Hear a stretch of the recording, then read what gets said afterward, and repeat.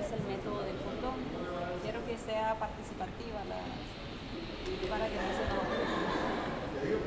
El condón es una bolsita que está formada por látex. Eh, viene de diferentes formas, tamaños, olores, sabores, que en la actualidad existe diversidad. Entonces, eh, hay dos tipos de forma. Está uno que es redondeado y otro que presenta un capuchón. ¿Cómo debe de, ¿Qué medidas debemos de tomar antes de Antes de utilizarlo debemos de verificar que la bolsita no esté rota.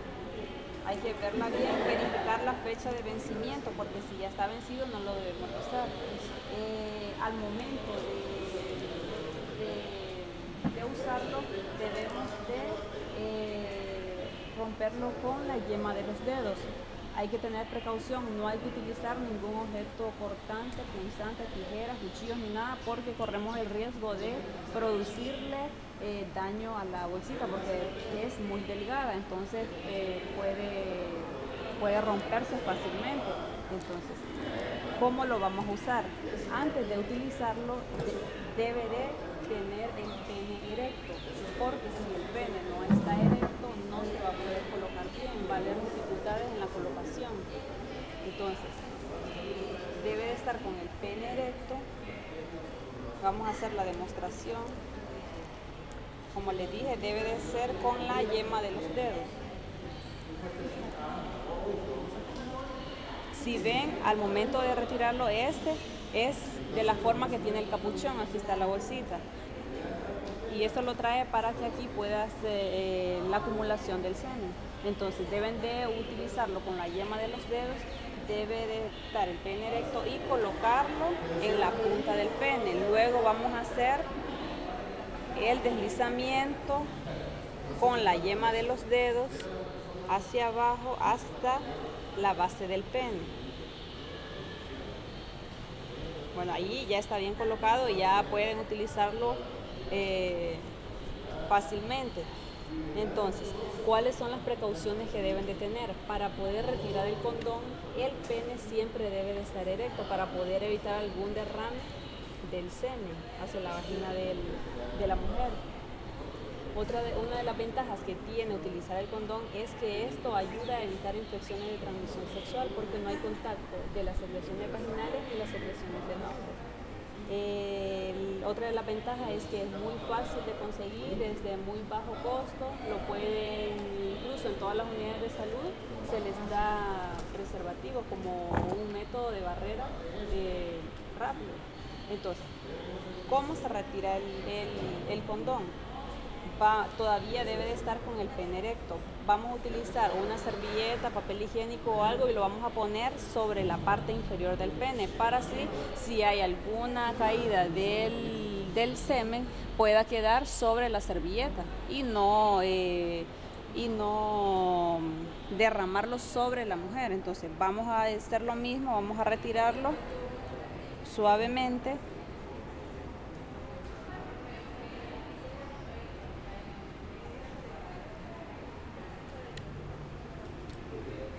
y luego lo hacemos, lo desenrollamos para poder hacerle nudos y lo desechamos junto con él, la servilleta. Entonces, ¿qué no se debe de hacer antes de usarlo? No se debe de soplar el condón, no se debe de, deslizarlo para, para después colocarlo, debe de hacerlo así como le dije. Entonces, vamos a ver si entendieron lo que les dije, vamos a hacer una demostración.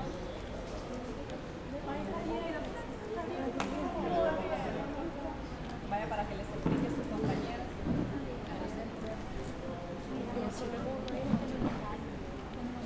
Uno o dos por falta de tiempo. Es que no iba a pasar, es que no estamos. Sí, explíquele ahí. Como mentías, como mencionaba la doctora, que primero hay que verificar la fecha de vencimiento, de cerciorarse de que no va a estar algún agrietado, algún hoyo que no tenga. Vamos a romperlo con la yema de los dedos, como ella dijo. Con las manos limpias, pues, hay que tener precaución. esa precaución. Luego, sostenerlo de la punta porque tampoco hay que dejar que, que quede aire, porque ese aire puede introducirse en el pene, que es el pene. Y evitar de que, porque muchas veces tal vez no se fijan bien y lo ponen al al revés. revés. Si lo ponen al revés, va a ser difícil la colocación. Si se fijan, no les va a no van a poder deslizarlo hacia abajo. Entonces, deben de fijarse bien. Yo, yo he tenido esa duda, doctora. eh, digamos que lo pongan hacia al revés. ¿Será posible que puede quedar algún resto de semen ahí al momento de la penetración? ¿Puede causar un embarazo? No, o sea, se va a quedar siempre en la bolsita, o sea, No. pero el problema va a ser de que no va a ser fácil la, la colocación, va a ser más difícil, pero mientras no haya salida del No, es que, que- no, líquido, no, no, no. Va, me lo pongo así al revés, va. Entonces, mi pene tuvo contacto con, con, lo que, con lo exterior, con lo que voy a penetrar a la mujer. ¿por qué Entonces, va a tener contacto? Porque lo va a poner al revés, pero igual no va a tener... Es lo mismo. Sí, pero no puede quedar embarazada porque no había salida de semen. Queda en la misma bolsa de semen, no tiene semen. Vaya, mira, vamos a abrir otro. no. No, para que le quede. Si de eso se trata, que Sí, para que aprendamos. vaya. Ahí está. Entonces viene y le hace así. Cuando usted quiera desplazar, El problema, o va sea, a se poder, va a poder, pero con, mire, usted tiene que utilizar todavía más fuerza para desplazarlo, pero el pene siempre le queda en la bolsita. O sea, queda adentro siempre. Y como para sacarlo tiene que estar fuera de la, de la, de la vagina. Entonces, Ya no importa si- sale. Siempre, siempre va a quedar el líquido, el semen no hay riesgo de que pueda producir algún embarazo porque el líquido está acá, independientemente esté eh, en una posición normal o esté al revés, siempre el líquido semen va a estar ahí. Si usted lo saca, digamos, en un periodo en el cual el pene ya no tiene la erección, ahí puede haber riesgo de que caiga semen, pero igual o sea, hay que tener las precauciones ahí. ¿O era, o era diferente la pregunta que tenía? Era diferente. Que cuando lo sacara de- saliera de la vagina, decíamos. Yo creo que yo le entendí. A ver, Lo que él dice, creo, a lo que le entendí, es así. Va, Él está excitado, tiene su Entonces él viene y ya después que verificó todo, ¿verdad? Y lo abrió, él viene y lo agarró. Bueno, lo agarró de, de la forma Correcta. correcta, sino que lo agarró al revés. Pero al estar al revés, aunque él le cueste, pero él se lo va a bajar hasta abajo. Pero lo que yo, yo siento que él dice que a la hora de ponérmelo, él como va haciendo fuerza, va rozando todo el pene. Y creo que es lo que él que si los roces que hubo en el borde son los que puedan dejar, o sea, pueda quedar. Explica qué querés. Es que sí, yo creo que eso es. Pero no puede quedar embarazada porque desde el momento que se lo está poniendo no ha habido todavía secre- secreción, o sea, no hay semen. Por eso aunque roce acá y aunque le cueste y esto tenga contacto con ella, no puede quedar embarazada. Yo creo que algo así puede sí, ¿verdad? Ya voy a. Ah, Sí, continuamos. Bueno, el pene con nada. Vamos a ayudarle aquí para que sea más fácil. Entonces vamos a hacer ¡Cuela! esto. Ya le damos hasta la base del pene. Y luego para retirarlo, como dijo la doctora, hay que tener un, una servilleta, papel higiénico, por si, por si hay derrame. Claro, usted dijo puede caer encima de la mujer, pero bien, caballero, el hombre se puede parar y ese a quitarse. Bien lo puede hacer simplemente con las manos y luego se, se lava. Entonces para retirarlo igual lo vamos a ir. este, acá creo que es más difícil, va porque, porque ajá, y. Sí, y como el pene ya a medida va perdiendo su, su eh, sí, además él solo va perdiendo.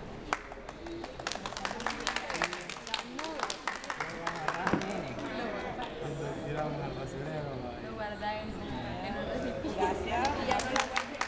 no, y no es reutilizable. Te guarda para otra vez. En cada relación sexual se debe de usar un condón, no debe de utilizarse. Le vamos a dar el premio al compañero que participó. vaya, queremos que lo de Pero a mí mira, como que tienes experiencia de lo más. Ay, pero nunca lo. Vale. ¿Qué se debe de hacer antes de utilizar? Primero tenemos que verificar la fecha de vencimiento, que no tenga ninguna perforación, ningún hoyito, todo eso. Luego no tenemos que utilizar ningún tipo de, de, de tijera, nada que utilizar Tenemos que utilizar lo que es la mano. La yema de los dedos.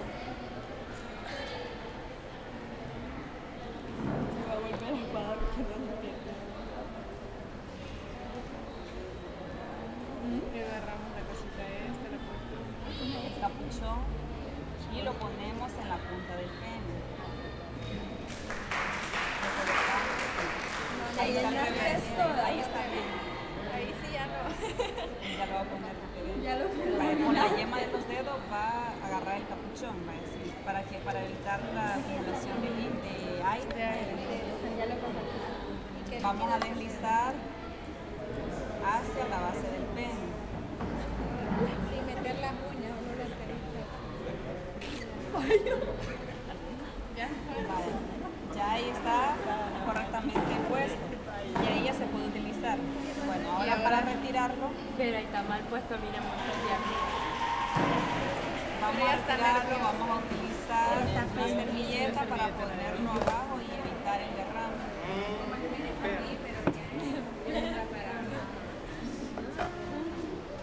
Y hacemos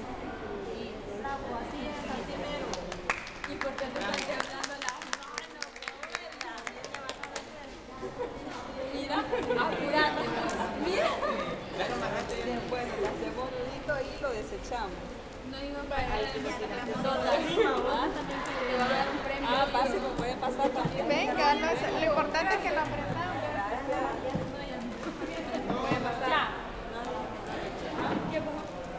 Vaya, repártanse estos dos que nos quedaron todavía. Solo los de mujer no podemos usar. Ah, entonces les voy a explicar. Los estamos de mujer normalmente casi no son muy, en la actualidad casi no los hemos visto, pero sí en algunas unidades de salud ya existen. No, pero si mañana no voy de, de choque en relaciones sexuales y